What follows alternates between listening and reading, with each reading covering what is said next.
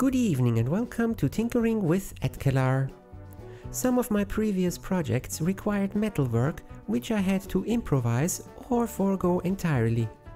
Well, some of the stuff I had to ignore in the past is now well within my paws. For my recent birthday, I treated myself to a metal lathe. Within my budget, of course. Which means one of these oh so cheaply made mini lathes from eBay. The order was shipped in two packages, which was indicated by the seller, so not a problem. But the fact that the eBay listing showed the item location as Czech Republic, the payment went to a Chinese company with a German tax ID number and the tracking showed the package as shipped in Belgium while I'm waiting for it in Austria. Uh, that made for an interesting feeling of just how shady is this? Anyhow, after about two days, the first package arrived. Time for my first unpacking video segment.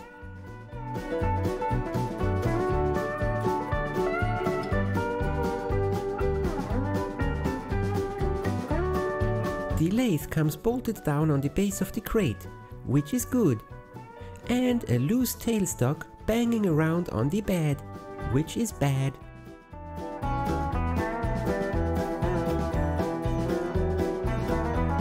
There is a film of oil all over it, which is good, with lots of grime in it, which is bad.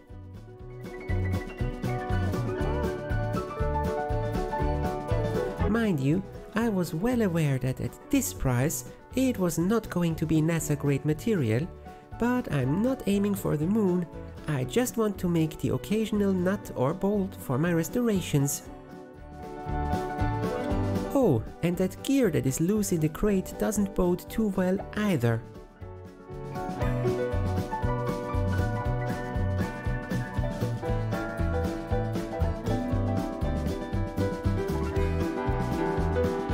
Let's start by taking the thing apart for some cleaning. Oh look, some of the parts come pre-rusted for our convenience. It became clear immediately that a good scrub won't be enough. The paint was very thin and scratched off almost with a fingernail, and while lots of grinding dust was caught on the oil film, there was not a single part that had been properly deburred.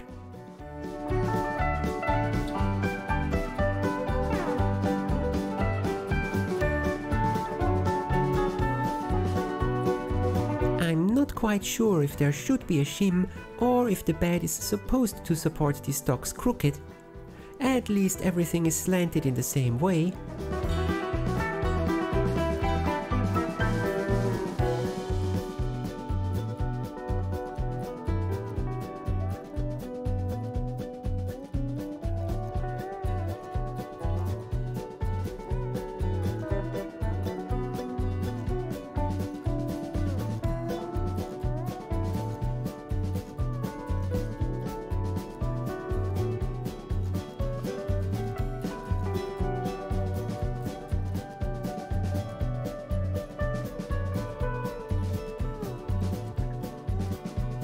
The tool sled support piece has a small crack in it.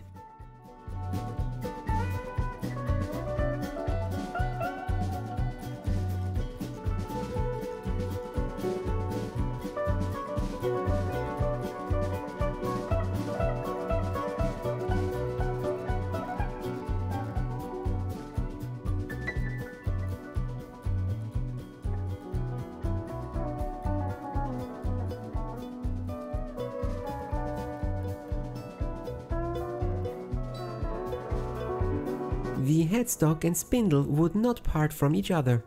The bearings are sealed ones and I don't have a press large enough to force them out. Better keep them as they come.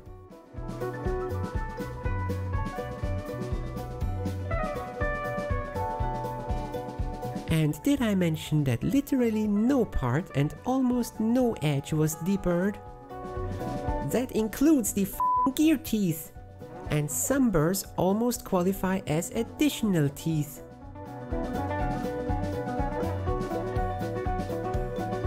Finally, After about a day of work, I have clean and deburred parts ready. Up next, paint removal and repainting.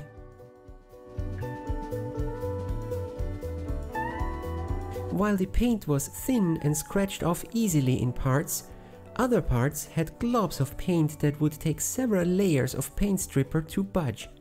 This was by far the most work intensive part. I taped off the parts that need to slide and spray painted the rest in some nice green and black. Since I've heard that all of them are essentially the same, I selected my model based on the accessories. This one included quite a bit of useful stuff for the same price that others were asking just for the lathe.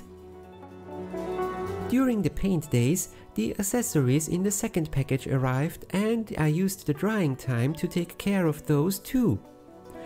Like the lathe, practically nothing was deburred.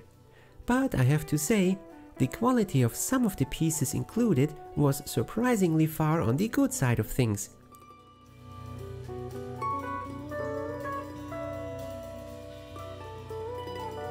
The live center is smooth and, well, centered.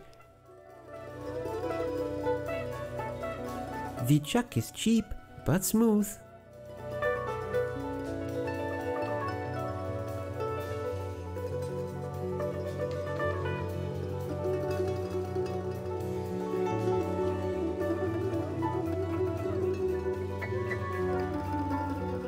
The 3 and 4 jaw chucks also needed all around deburring, again including the gears.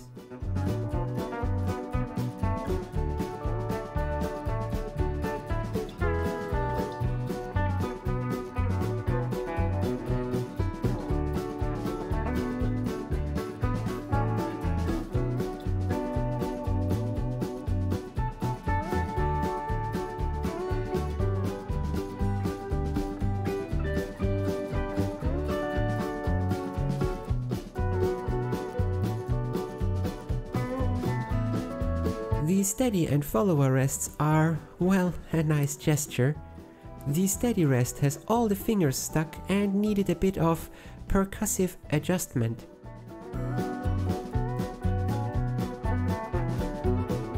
And here we have the holy grail. Calipers that actually had no burrs, work smooth, and are accurate. What's the catch? Oh, uh, freedom units.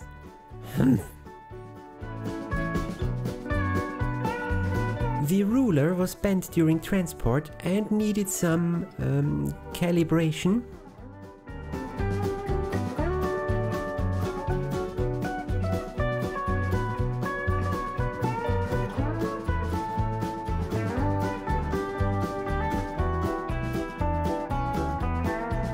Reassembly starts off with the bed and the headstock.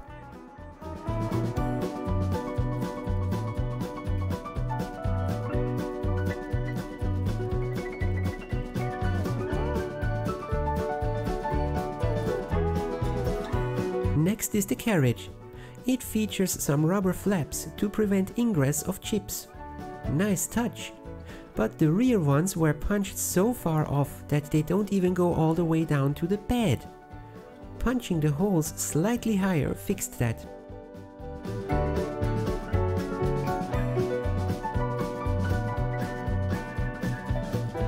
The brackets that hold the carriage would also benefit from a shim. Make one eventually, but for now I'll put them on at an angle and tighten the screws just enough to hold them. Also, deburring the underside of the bed makes them glide much smoother.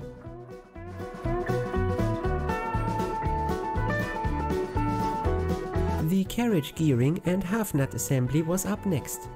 It did bind a bit before, but I removed all the burrs, so I figured it should work now. Also, the backside is completely open, ready to collect chips. I'll fabricate a backing plate either from sheet metal or plastic when I'm done to prevent chip ingress.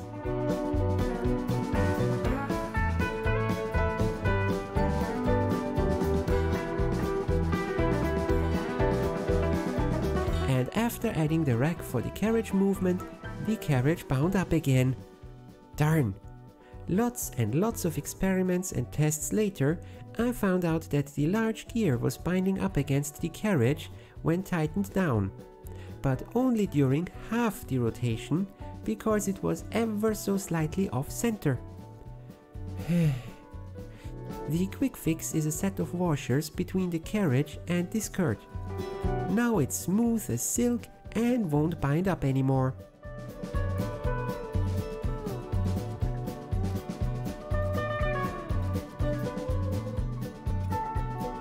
The cross sled went on fine.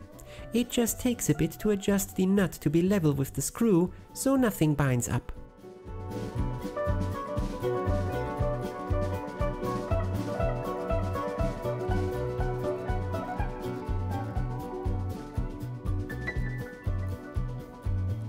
Up next, the lead screw. Not much of a problem as such, but it was ever so slightly bent. Even with the large tolerances of the machine, it bound up every half turn. Took some force to straighten out enough, but it works. The spindle has the drive belt pulley and a gear to drive the lead screw. And boy was that gear crooked. Again, some tuning required. The belt tightening screws are just regular machine screws that push against the motor, which is evident by the scratched surface. I'll file them flat to prevent any more scraping.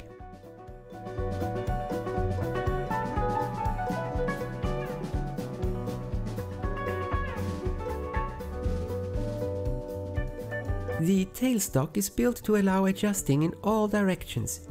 This is important because you want the head and tail spindles to be on exactly the same axis, or at least meet somewhere in the middle. I use a collet in the head spindle as a guide to adjust the center on the tailstock. At least the two ends meet. I still have to look into that whole axis alignment thing. With the tailstock aligned, I could finally take care of the plastic change gears. They come pre-shrunken and wouldn't fit on the pegs without a hammer. Eventually, they will break. So I put my reamers to good use and made sure that they fit and move nicely. For reference, those two gears were snug enough to unthread the screws. The direction reverse lever has a bit of play. The pin needs remaking or shimming, but for now it's good enough as well. The holder for the change gears was way out of tolerance. It should fit between the lead screw and the peg in the bed, but it would bind up completely. I took care of that.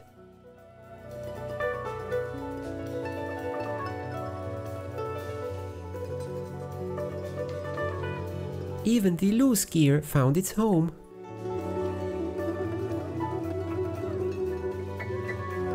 And with the default set of gears attached again, yes, it turns without any issue now.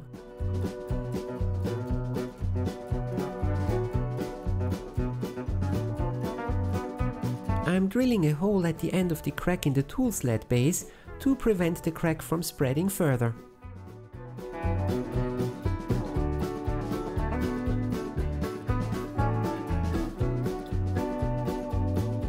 Plastic angle gas-o-meter is another planned upgrade. And now, electrical work. The lathe comes with a way too short for my taste cable, so I swapped it out for one that I had left over from a garden pond pump.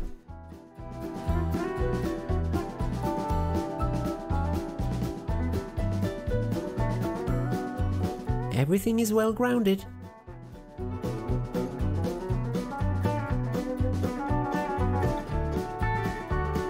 Did remake the labels for the lathe too. The original ones were dirty and did not come off in one piece for the paint job.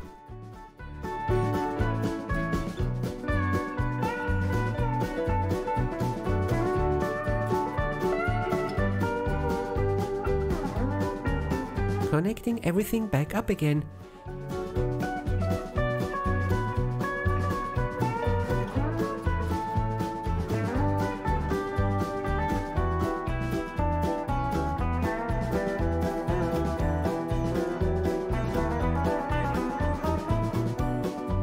The bolts provided with the chucks are, well, useless. Cutting my own.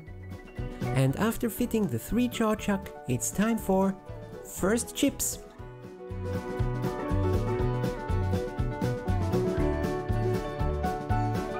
Now I have to find a proper permanent location for it so I can bolt it down. Also, maybe find out where the handful of leftover bolts are missing. And the spindle comes with an MT3 taper and a bit over 20mm bore, while the tailstock has an MT2 taper. The maximum diameter over bed is 180mm and with a bit of optimism, the maximum length of a realistic workpiece is about 25 to 30 centimeters. The bed is longer, but I'm including a bit of allowance for tools. Look at all the dirt that was on it. Yuck!